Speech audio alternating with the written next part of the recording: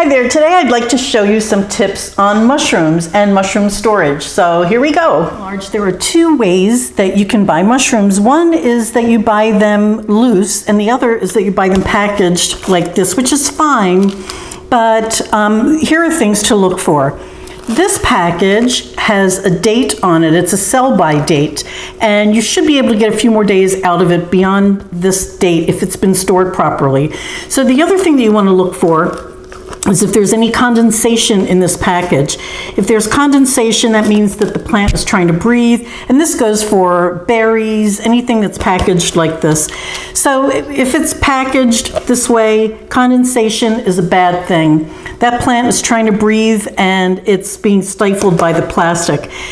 When you get mushrooms home and before you wash them, the best way to store mushrooms when you get them home is to put them in a paper bag.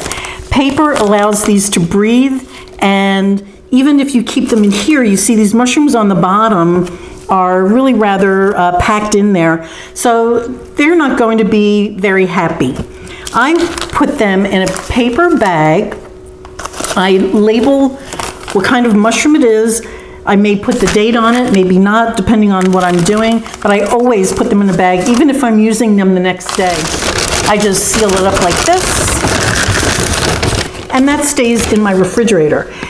This will last for a good week or more, and your mushrooms will stay fresh and, and really beautiful. Um, and I've actually forgotten them and gone back and found them in the back of the fridge and they're they're dried so all that you do is like any dry product you just rehydrate them and you have beautiful mushrooms at the end of it.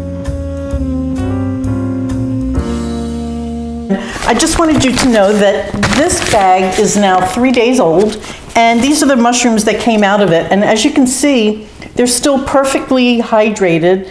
They're really beautiful and they don't look any different than when we purchased them three days ago. Um, the way to clean mushrooms, you know, you have all of these little pieces on it, and to take each and every one and take a little brush or a paper towel and get all of this schmutz off is a lot of work and torture, if you ask me. So, um, what you can do is just put them in a bowl of water Maybe put a little vinegar in there just to make sure they're perfectly clean. Just mush them around like this with your hands, clean them, and then uh, take that water out. They do not gather any water unless you keep them in water for about 20 minutes. So what you want to do is as soon as you do wash them, it's fine to wash. Um, I put them in a clean tea towel and just sort of pat them dry and then use them right away. So in other words, you don't want to wash them and then store them for three days. You want to take them right out of the container and keep them dry until you're ready to use them.